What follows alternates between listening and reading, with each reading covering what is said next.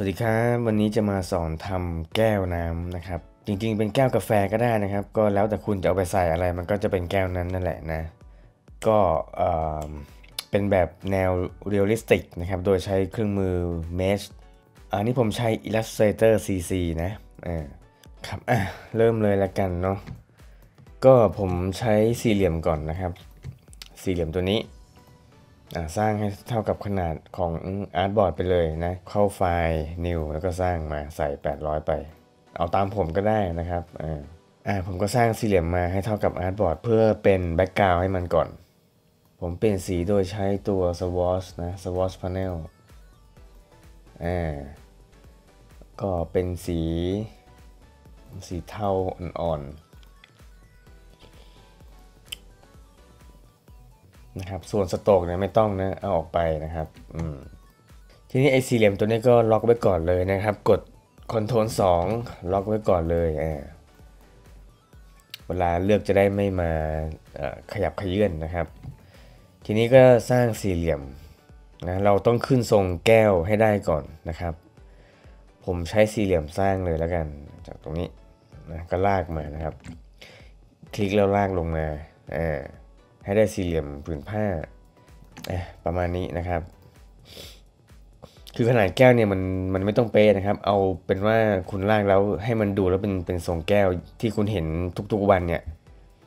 นะให้ให้ขนาดความสูงความกว้างเนี่ยมันมันได้นะครับ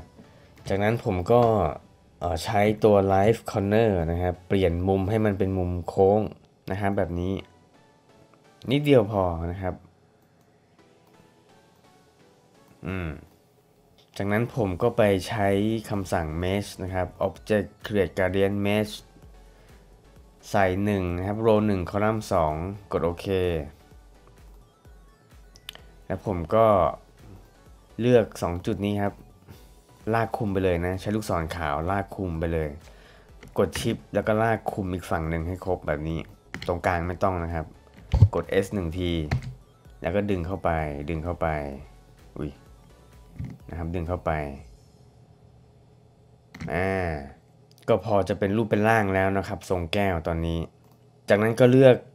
ไอตัวทรงแก้วนี้ไว้ก่อนนะครับ แล้วไปที่เครื่องมือ Mesh ใน Toolbox ตัวนี้นะครับ หรือกด U ก็ได้นะ แล้วคลิกจุดนี้ครับ 1 จุด มันจะได้เส้นแนวนอนขึ้นมานะครับ ประมาณนี้ อืม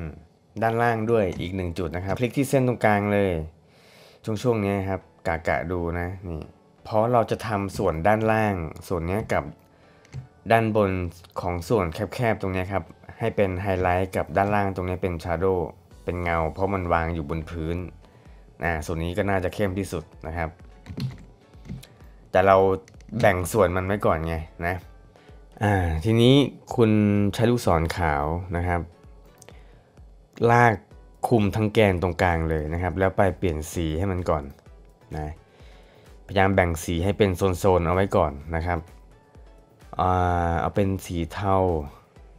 เข้มๆนิดนึงไม่ไม่ไม่ต้องเข้มหรอกอ่าประมาณนี้นะครับครับทีนี้พอคุณแบ่งโซนแล้วเนี่ยก็จะเห็นภาพรวมนะครับ แล้วมาเก็บไอ้ตรงดีเทลนิดนึงก็คือจุดด้านบนตรงนี้อ่าเราก็เลือกเอาไว้ครับใช้ลูกศรขาวเลือกเอาไว้ปึ๊บ แล้วไปใช้สีขาวเลยนี่ตัวนี้ครับอ่านะตรงนี้เป็นเป็นส่วนของปากแก้วนะครับ ส่วนตรงนี้จุดนี้ครับ คลิกไปเลยแล้วก็ไปใส่สีที่มันเข้ม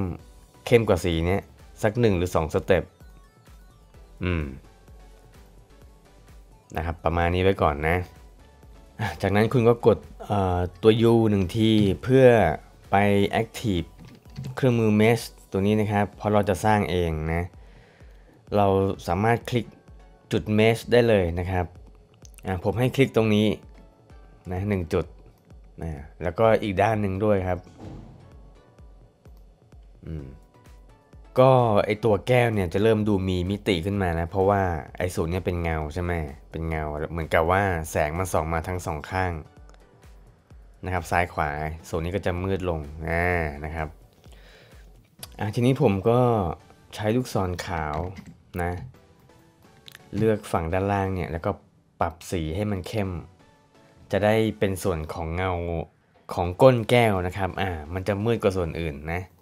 ก็เลือกไปเลยครับ ใช้ลูกศรขาวเลือกนี่สามจุดนี้นะครับปึ๊บ แล้วก็ดูดสีจากตรงนี้ได้เลยนะครับ กด i 1ทีเพื่อเลือก eyedropper แล้วคลิกเลยนี่นะครับฝั่งนี้ก็เหมือนกัน นะครับใช้ลูกศรขาวนะหรือหรือกด A ก็ได้ครับเป็น shortcut ของมันนะแล้วก็กด I แล้วก็คลิกจุดนี้นะครับอะตอนนี้เดี๋ยวเรามาทำหูแก้วกันนะครับไอตัวหูแก้วเนี่ยอะอาจจะต้องใช้ pen tool เข้ามาช่วยนะบางคนได้ยินคำว่า pen tool นี่อาจจะล้มเลิกกันไปเลยทีเดียวนะครับ อย่าไปกลัวมันนะ คือ แค่แค่ลากตามผมไปนะครับ แค่นั้นเองไม่มีอะไรมากนะ ประมาณ 3-4 จุดก็ได้แล้วนะครับ แป๊บเดียวนะ แข็งใจหน่อยนะครับ โอเค ตัวนี้นะครับ pen tool อ่าเซตให้เป็น stroke ไปก่อนเลยนะครับ จะได้มองเห็นได้ง่ายนะ ถ้ากลัวไม่เห็นสีก็ใส่สีดำให้มันไปเลยนะครับ เซตให้เป็นสโตกนะครับ กดชิป X อ่า คลิกตามผมเลยนะครับ จุดแรกนะครับ คลิกตรงนี้นะครับ คลิกทีเดียวนะหนึ่งนะหนึ่งนะครับ จุดที่สองคลิกตรงนี้ คลิกแล้วดึงลงมา จะมีจะมีแขนออกมาทั้งสองด้านแบบนี้ ในแนวทะแยงนะครับ จุดที่สองนะครับแบบนี้ จุดที่สามมาตรงนี้เลยนะครับ จุดที่สามคลิกค้างแล้วก็ลากลงลงมา แบบนี้ การคลิกค้างแล้วดึงจะเกิดแขนนะครับจุดนี้ก็เหมือนกันนะ แล้วจุดที่ 4 มาคลิกข้างในนี้เลยครับคลิกค้างเนี่ยแล้วก็ดึงออกนิดนึง เพื่อให้มันมีส่วนส่วนโค้งตรงนี้ออกมาหน่อยนะครับ แค่นี้4จุด1 2 3 4 ทีนี้เราต้องการจะจบเส้นแค่นี้ นะครับจบเส้นแค่นี้เพราะว่าจุดนี้มันยังค้างอยู่เห็นไหมถ้าเราไปคลิกจุดอื่นต่อไปต่อไปเนี่ยเส้นมันจะตามไปนะครับเราต้องจบเส้นแค่นี้คือกด Ctrl แล้วคลิกบนพื้นที่ว่างนะคุณคุณจะได้ทรงนี้มาเป็นหูแก้วนะครับ เหมือนหูคนเลยนะเนี่ยนะทีนี้อ่าคุณก็ไปเลือกเส้นนี้ไว้ครับ ใช้ลูกศรดำแล้วไปเพิ่มความหนาให้สโตกนะครับอ่าใช้ตรงนี้ก็ได้ครับข้างบนอ่า ปึ๊บอ่าสัก 20 นะครับ ประมาณนี้นะครับนะครับจากนั้นคุณก็ไปใส่กาเดียนให้สโตกเส้นนี้ ทีนี้ใช้ลูกศรดำเลือกหูแก้วเอาไว้นะครับ แล้วก็ไปใส่กาเดียนในสวอชเลยตัวนี้ครับ ใส่ไปก่อนนะแล้วคุณก็เปิดการเดียนพา n e l เนี่ยขึ้นมาตัวนี้ครับ ให้มาคลิกปุ่มนี้ครับ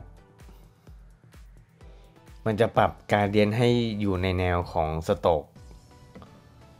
นะแบบนี้นะครับปึ๊บนี่อะทีนี้ผมจะเปลี่ยนสีดำให้เป็นสีเทาไปก่อนนะครับ เทาอะสักประมาณนี้นะครับ ตัวนี้เลยก็ลากขึ้นไปครับ คลิกค้างแล้วลากขึ้นไปแปะ ตรงนี้นะครับ แทนที่สีดำปึ๊บอ่าอะทีนี้ให้คุณเลื่อนจุดสีขาวนะครับ ไปทางขวามือ ไอ้สีเทาเนี่ยมันจะดูเป็นสันขึ้นมา คือเหมือนกับเป็นเป็นส่วนด้านในอะครับ ด้านในของหูมันนะ ทีนี้ผมจะ Copy สีเทาตัวนี้ออกมาไว้ตรงนี้อีกจุดหนึ่งนะครับ เพื่อให้ด้านบนนะครับ มันมีสีเทา อยู่นิดนึงนะครับ ให้คลิกจุดนี้เอาไว้แล้วก็กด Alternate ค้าง แล้วก็ดึงออกมาเลยครับ แล้วไปไว้ทางด้านซ้ายมือสุดแบบนี้ นะครับทีนี้ผมจะปรับไอ้ส่วนที่เป็นสีขาวเนี่ยให้มีพื้นที่มากกว่านี้นะครับ ให้มันขึ้นไปอีกอ่าก็เลื่อนจุดนี้ครับ ไปทางด้านซ้ายทางด้านซ้ายอ่าเห็นไหมครับ คุณได้ภาพรวมมันแล้วทีนี้คุณจะเปลี่ยนไอตัว Shadow นะครับด้านหลังเนี่ยให้มันอ่อนลงก็ได้ เพราะว่าเป็นเป็นส่วนที่มันแสงเข้ามาใช่ไหมอ่าผมก็ ใช้สักอันนี้แล้วกันลองดูก่อนนะครับคลิกค้างแล้วดึงไปแปะตรงนี้แทน อืม ประมาณนี้น่าจะโอเคกว่า คือเราสามารถเปลี่ยนได้อยู่แล้วครับ อันอันนี้ไม่ต้องห่วงนะ ก็แล้วแต่ชอบนะ ถ้าคุณชอบให้มันมีเงาเข้มๆก็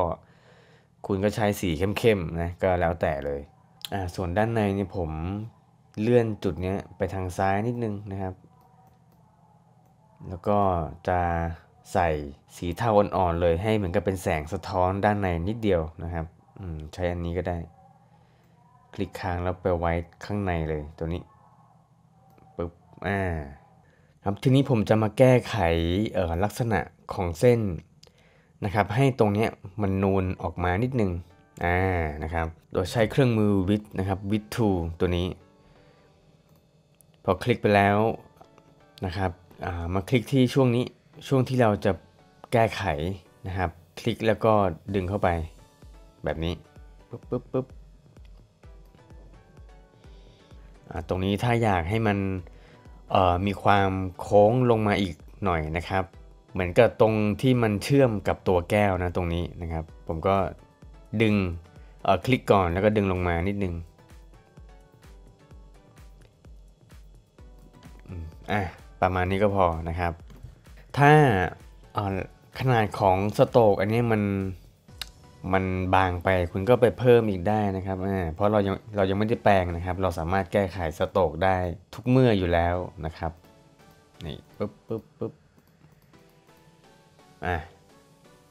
นะครับทีนี้มันบางตัวแก้วอยู่ เพราะฉะนั้นผมจะส่งไปไว้ข้างหลังนะครับ ข้างหลังแก้วแต่ข้างหน้า background นะอะ control บอลใบไม้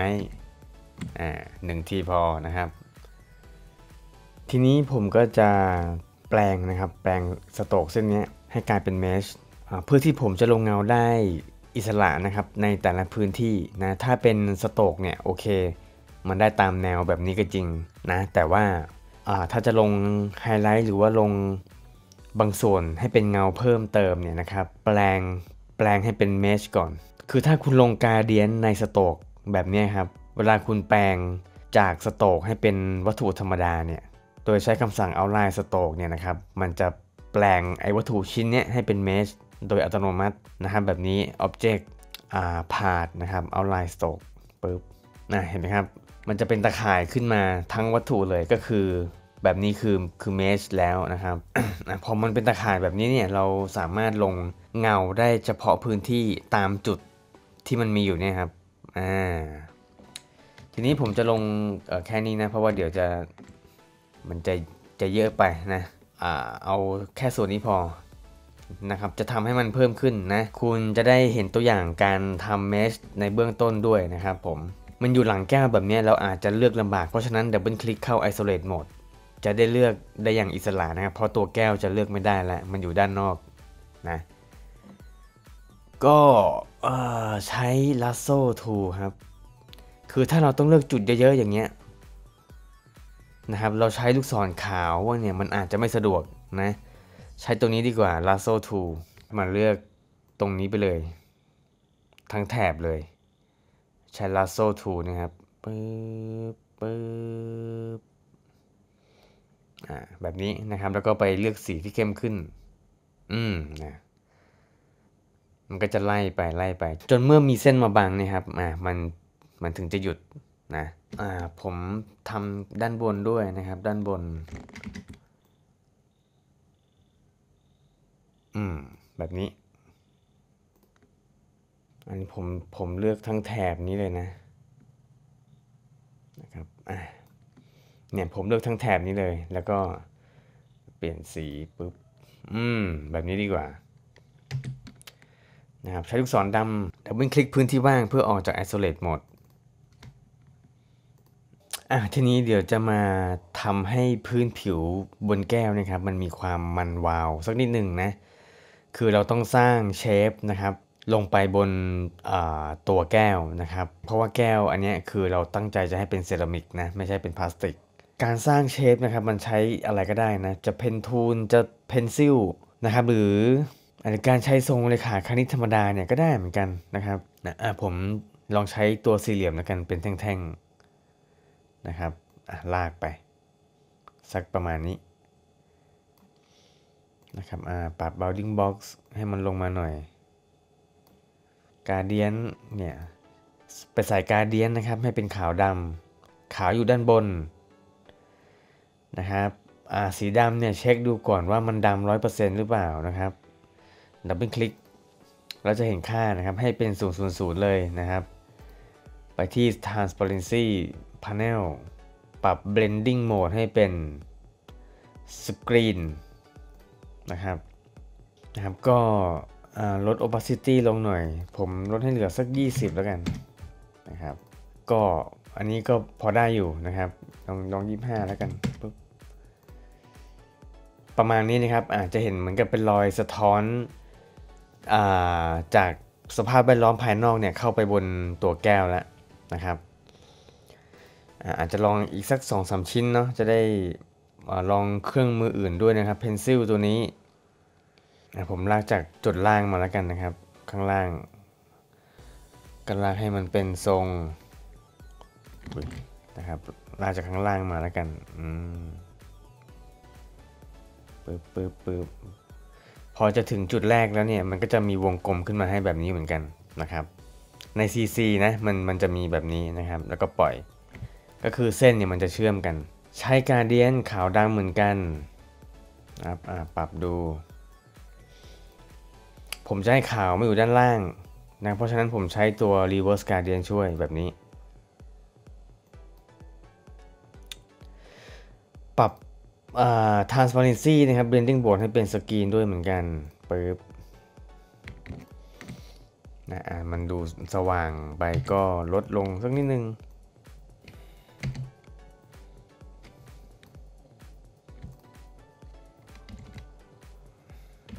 นี่ผมลากการเดียนใหม่ให้เป็นแบบนี้เอาขึ้นไปนะครับ ขึ้นไปขึ้นไปอืมอ่าพอเห็น ตรงนี้จะชัดนะครับ แล้วก็มันจะค่อยๆเฟดหายไปหายไปช่วงนี้นะนี่ผมก็ใช้ดินสอเหมือนเดิมนะครับมาลากตรงจุดนี้ปึ๊บลากมาเป็นทรงนี้นะครับ ลากไปพอจะถึงจุดแรกเนี่ยจะให้เส้นมันเชื่อมกันนะครับ มันก็จะมีวงกลมมาแล้วก็ปล่อยเลย อืมปรับเป็นสกรีนเหมือนกันนะครับ อืมแบบนี้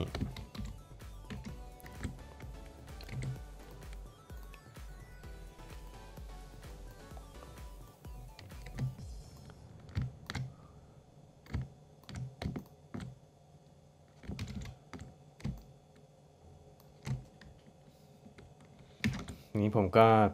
ปรับอันนี้ให้เป็นสักเจ็ดเจ็ดสิบหกสิบดีกว่าหกสิบพอให้เห็นลางๆนิดนึงนะครับอ่าขออีกสักชิ้นนะ ขออีกสักชิ้นหนึ่งนะครับ อันนี้ผมลากแบบนี้เลยนะใช้ดินสอเหมือนกันลากโค้งมาเลยแบบนี้นะครับ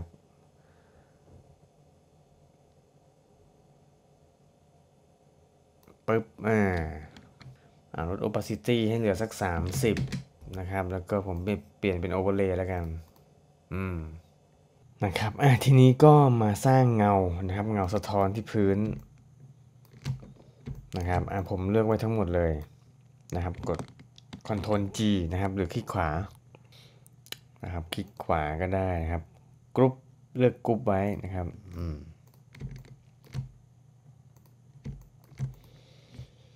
นะพอกรุ๊ปแล้วก็คลิกขวาอีกทีหนึ่งทานเลือก transform นะครับ reflect กด preview ดูก่อนนะครับอ่าเลือกแกนนี้ครับ horizontal นะกด copy นะครับแล้วก็เลื่อนอันนี้ลงมาไว้ข้างล่าง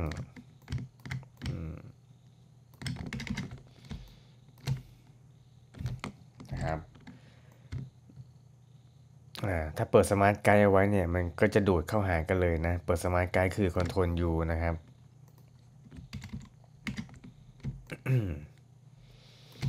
โอเค ทีนี้วาดสี่เหลี่ยมขึ้นมา1ชิ้นนะครับ ให้มันคุมแก้วทั้งใบเลย แบบนี้ แล้วไปใส่ gradient นะครับ ใส่ใส่การเดียนขาวดำ ลากให้สั้นๆ แค่นี้พอนะครับ ให้พื้นที่สีขาวเนี่ยมันอยู่ประมาณนี้นะครับ ถ้าไม่พอใจก็ปรับแต่งได้จากตรงนี้อ่าไอ้สีดำเนี่ยอย่าลืมนะให้มันเป็นด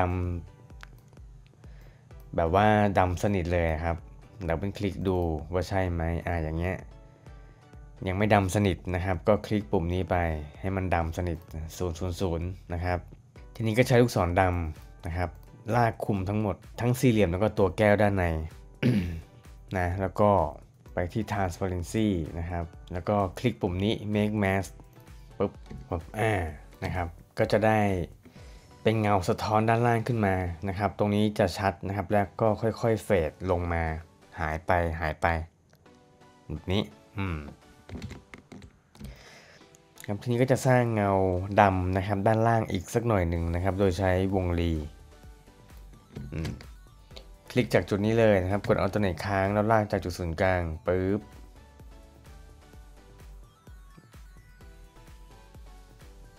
ประมาณนี้ก่อนนะครับ ใส่สีดำนะสีดำนะครับ แล้วก็เลือกไว้กด Ctrl C Ctrl F และย่อลงโดยการย่อเข้าหาจุดศูนย์กลางเหมือนกันนะครับ Shift Alternate แล้วก็ลากเมาส์เข้าไปเข้าไป สักประมาณนี้ก็ได้นะครับ ชิ้นนี้ก็ตอนนี้จะมี 2 ชิ้นซ้อนกันนะ ชิ้นนี้ผมเปลี่ยนเป็นสีขาวนะครับอ่าแล้วก็กดชิปค้างแล้วก็เลือกชิ้นนี้เอาไว้เป็น 2 ชิ้นนะครับ